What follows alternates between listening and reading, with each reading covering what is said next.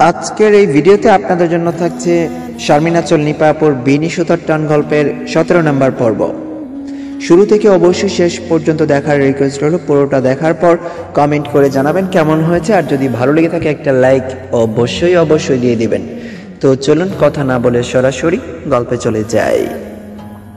পড়া পর্যন্ত সীমাবদ্ধ থাকলে ভালো হতো। তবে এর বিস্তৃতি এত দূর তলাবে কে জানতো?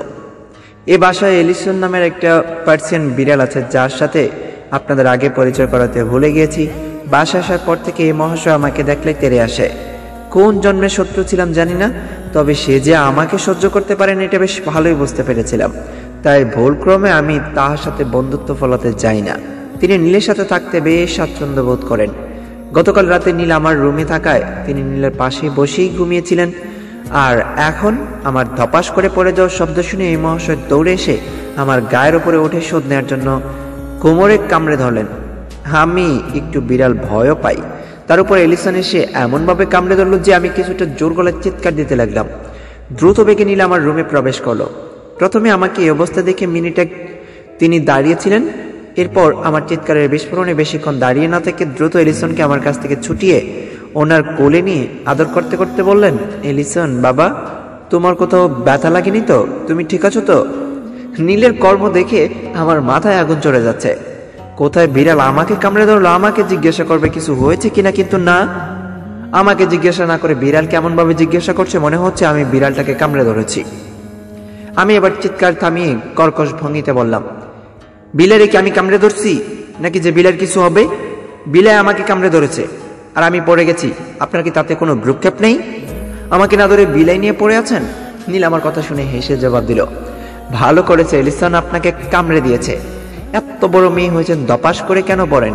দুর্ভাগ্যক্রমে এলিসনের উপরে পড়ে থাকলে কেমন হতো একবার ভেবে দেখেছেন তো? এলিসন আপনার মতো এত পাহাড়ের ভর সহ্য না করে চাপটা হয়ে যেত। ভাগ্য ভালো, বাথরুমে গিয়ে পড়েছেন। নীলের কথা শুনে আরও চটে গেলাম। পেটটাও মোচড়াতে লাগল আবার। আন্টি আঙ্কেল হয়তো আমার চিৎকার শুনেনি, না হয় এতক্ষণে চলে আসতো। আমি বাধ্য হয়ে রাগ গলায় ওনাকে বললাম, আমাকে কি একটু আপনি ধরে তুলবেন দয়া করে? আমি পায়ে সত্যিই ব্যথা পেয়েছি। আপনাকে লজ্জায় চলে যেতে বলেছিলাম, কারণ ওয়াশরুমে আসা দরকার ছিল। আপনার সামনে কি করে ওয়াশরুমে যাব? এই ভেবে আপনাকে তখন যেতে বলছিলাম। এদিকে পায়ের ভর সামলাতে না পেরেই তো ধপাস করে পড়ে যায়, আর কোমরে এলিসন হয়তো বেশ জোরেই কামড় দিয়েছে। না হয় এত ব্যথা করতেছে কেন বসতেছি না। আর সবচেয়ে বড় বিষয় হচ্ছে আমার পেটটা ভীষণ মোচড় দিচ্ছে। দয়া করে আমাকে একটু তুলুন। না হয় এখানেই আমাকে কর্ম সম্পাদন করতে হবে। হাই হাই রে। নীল আমার কথা শুনে ঠোঁট চেপে হাসতে লাগল। এ বিপদে ওনার এত হাসি কীভাবে পাচ্ছে আমার জানা নাই। রাগ গলায় অনেক কিছুই বলতে মন চাইলেও পরিস্থিতি বিবেচনা করে চুপ রইলাম। নীল আমাকে দরে ওঠালো, তারপর নম্র হাসির রেখা টেনে বলল কমোডে কি বসতে পারবেন? নাকি পাজামাও আমাকে খুলে দিয়ে বসাতে হবে? আমি ড্যাব ড্যাব করে নীলের দিকে তাক- তাকালাম। নীল দ্রুত পায়ে ওয়াশরুম থেকে বের হয়ে দরজাটা লাগিয়ে দিয়ে বলল, আমি রুমে বসলাম। আপনার শেষ হলে ডাক দিয়েন। বাবা মায়ের রুম সাউন্ড প্রুফ করা আছে। দরজা লাগানোর পর চিৎকার তেমন রুমে প্রবেশ করতে পারে না।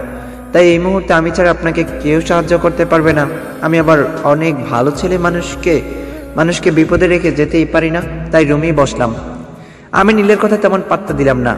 বিসর্জন কর্ম শুরু করলাম। বুঝতে পারলাম জীবনের অর্জনের চেয়ে বিসর্জন অনেক আরামের। বোগে নয়, ত্যাগে প্রকৃত সুখ। ছোট্টবেলার ভাব সম্প্রসারণ পড়েছিলাম। এখন তা হারে হারে ডার পাচ্ছি। বিসর্জন কার্য সম্পাদন শেষে নিজেকে বেশ হালকা লাগছে। তবে পায়ে হালকা ব্যথা আর কোমরে এলিসনের কামড়টা বেশ যন্ত্রণা দিচ্ছে। আমি নিজেকে একটু গুছিয়ে নীলকে ডাক দিলাম। আসেন আপনি? আমি বের হব। দরজাটা অটো লক করা ছিল।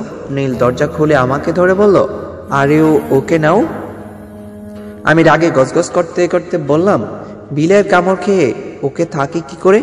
যে কামড় দিয়েছে মনে হচ্ছে চোদ্দটা ইঞ্জেকশন নিতেই হবে। একে তো আমার পা গেছে, এখন আমার কোমর যাবে। আমি মনে হয় প্যারালাইজডই হয়ে যাব। নীল আবারও একটু হাসলো। কিছুক্ষণ আগে বলে যাওয়ার কাহিনীর সময় নীলের মুখে যে মলিনতার সাপ লক্ষ্য করা গিয়েছিল তা এখন নীলের মধ্যে বিদ্যমান নেই। সে হাসিটাকে বিস্তার করে বলল, আচল রানী, আপনার চিন্তার কারণ নেই। এলিসনকে র্যাবিস ভ্যাকসিন দিয়ে রেখেছি। সে আপনাকে কামড় দিলেও আপনার কিছুই হবে না। তবে এবার বাথরুমে দাঁড়িয়ে বকবক না করে আমাকে ধরে বের হন।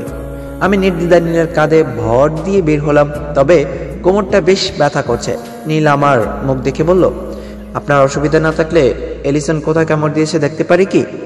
আমি একটু ওয়াশ করে দিই। এখন বেশ সকাল, মাকে ডাকলে মায়ের সারা দিন মাথা ব্যথায় কাটবে। আর বাবা তো আর আসবে না এসব করতে। আপনি বিনা সংকোচে আমাকে দেখাতে পারেন। ধরে নিন একজন ডাক্তারকে ট্রিটমেন্টের জন্য কোমরটা দেখাচ্ছেন। নীলের এত কেয়ার নেওয়াটা নেওয়ার বিষয়টা আমাকে বেশ মুগ্ধ করে। নীলের ক্ষেত্রে আমার কোনো সংকোচ যদিও কাজ করে না, মুখে হালকা সংকোচের সাপ এনে কোমর থেকে কাপড়টা সরালাম। নীল কোমরের কাপড়টা সরাতে জিব্বায় কামড় দিয়ে এলিসনকে বলতে লাগল ব্যারি ব্যাড, বেটা, তুমি আন্টিকে এইভাবে কামড়ে কেন দিয়েছ? তারপর আমাকে বলল, আপনি একটু এভাবে বসেন, আমি মেডিসিন নিয়ে আসি। ওয়াশ করে মলম লাগাতে হবে। এই বলে রুম থেকে বের হতে নিলেন। আমি পিছু ডেকে বললাম, বিলাই নিয়ে যান, আপনি গেলেই এ আবার আবার আমার উপরে হামলা করবে। নীল আমার কথা শুনে এলিসানকে কোলে নিয়ে উত্তর দিল এলিসান কেন কামড় দিয়েছে বুঝতে পেরেছি। আপনি তার সুন্দর নাম থাকা সত্ত্বেও বিলাই বিলাই করছেন, তাই কামড় দিয়েছে। আমি কপালটা কোচকে জবাব দিলাম, বিলাইকে বিলাই বলব না তো কি বলব? আপনি কিন্তু বিলাই নিয়ে বাড়াবাড়ি করেন বেশি। আপনার তেরার রগও কখনো সোজা হবে না। কথাটা বলে নীল অ্যালিসনকে নিয়ে রুম থেকে বের হলো। আমি এভাবেই বসে রইলাম। এবার নীল হাতে মেডিসিন নিয়ে রুমে প্রবেশ করল। আমার কাছে এসে স্যাবলন মিশ্রিত পানি তুলে ভিজিয়ে কোমরে লাগাতে লাগল। নীলের হাতের স্পর্শে আমি কেমন যেন মাতাল হয়ে গেলাম। এই মাতালতার নেশা আমি চোখ বন্ধ করে উপভোগ করতে লাগলাম। আহ, কি শান্তি, তাই না, বাবা? মাতালতার মোহে কাটে নীলের কণ্ঠস্বরে। নীল জায়গাটা পরিষ্কার করে তাতে মলম লাগিয়ে দিয়ে বলল, এখন ব্যথা কমে যাবে। আপনি তো নতুন মানুষ তাই এলিসন চিনতে পারেনি। কিছুদিন থাকলে চিনে ফেলবে। আমি মুখটাকে বাঁকিয়ে বললাম, আমার থেকে বেশি চিন্তা আপনার এলিসনকে নিয়ে, বুঝতে পারছি। এদিকে একটা জলজন্ত মানুষ মরে যাচ্ছে, সেদিকে আপনার ভ্রুক্ষেপ নেই, আপনার যত চিন্তা এলিসনকে ঘিরে। আপনার মনে দয়া, মায়া নেই, বুঝতে পারছি। আমার প্রতি আপনার একটু খেয়ালও নেই। নীল আমার কানের কাছে এসে বলল, আপনার প্রতি আমার অনেক খেয়াল আছে। এখনই তার প্রমাণ আমি দিতে পারব। নীলের কথা শুনে আমি দেয়ালের দিকে তাকালাম। নীলের নিঃশ্বাসটা আমার ঘাড়ে এসে পড়ল। উষ্ণ নিঃশ্বাসের অনুভূতিকে জাগ্রত করে বললাম, প্রমাণ দিন তাহলে। এরপর নীল যা বলল, তা শুনে রীতিমতো আমি স্তব্ধ হয়ে গেলাম কিছুক্ষণের জন্য। এই যে আগের পর্বে বলেছিলাম, শেষের লাইনটা এরকম যে পরের পর্বটা না পড়া পর্যন্ত যেন শান্তি নেই। তো সবাই ভালো থাকেন, সুস্থ থাকেন। বা বাই, টাটা।